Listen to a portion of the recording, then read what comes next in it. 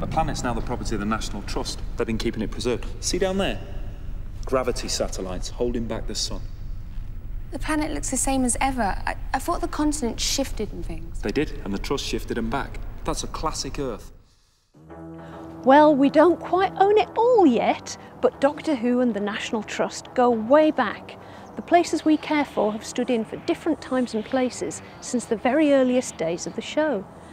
Frensham Ponds in Surrey stood in for the Plains of Troy in a historical story starring William Hartnell, the first Doctor, and since then the Doctor's been a regular visitor. At more than 2,000 years old, probably, the Doctor would get great value out of a life membership. But there are two places they keep coming back to time after time, and that's Tredegar and Dyffryn Houses, both coincidentally quite near Cardiff. They've been in 21 stories so far. So why do they keep coming back to these places?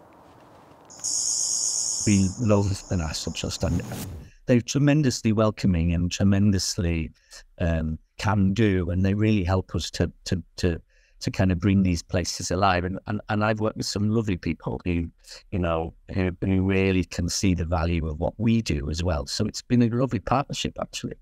I think it helps our cast feel the space. So it makes them feel like they're in that world in a way that a set can do it to a certain extent and a good set can do it very well. But nothing beats being in a place, I think. Um, there's something amazing actually when the cast walk through the door of a location and it's some um, it's something they've only read about in the script, and they sort of think they sort of go, And that to me is just wonderful because it means they can bring so much more to their performance. So that stuff is important, I think. Tredegar is just a magical sort of location, isn't it? It's such a beautiful, um, beautiful property, beautiful house, beautiful gardens. Um, and it does it lends itself so well to sort of, you know, to a Doctor Who episode. You know, there's so many different rooms. Um, the exterior, the gardens, the stables. It's it's just fabulous. And you know, having it right on our doorstep. We're based in Cardiff. Your house is just down the outskirts of Newport. There's there's no doubt that we, we're going to need National Trust properties in years to come. I hope. Welcome to Tredegar House. What's it like when you've got a full film crew in here? It's so exciting. Uh, it's so different to what we do. You know, day to day, we're open for visitors to come and explore the house. But all of a sudden you have upwards of 100 people descend on you.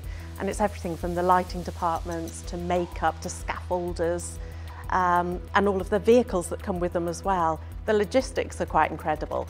But to have them here is so exciting. There's such a buzz about the place. And everyone's, you know, wants to make it work. Everyone's coming together as a team, whether it's the crew themselves through to our staff and volunteers. It's really brilliant. How do you protect somewhere like this from any knocks or damage?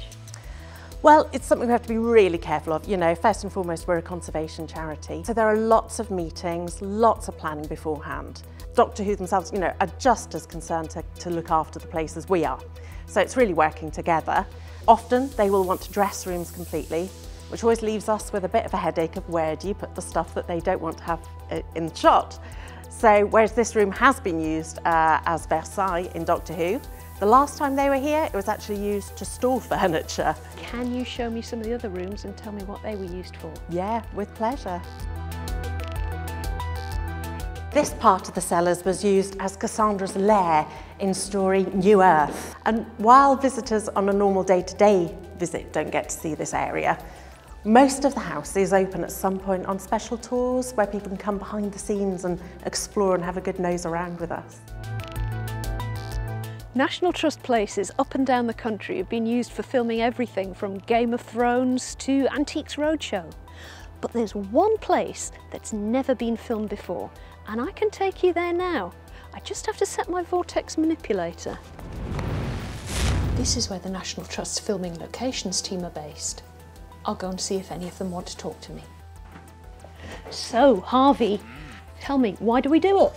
All the money goes directly to the property that hosted the filming. Right, so to the actual property? To the actual property, yeah. So quite often there's a conservation project that's probably been on the back burner waiting funding, so we can do that now. That's one benefit. The other benefit is uh, it drives visitors. There's a phenomenon called set jetting, which is basically tourists going to the place that they've seen in a film.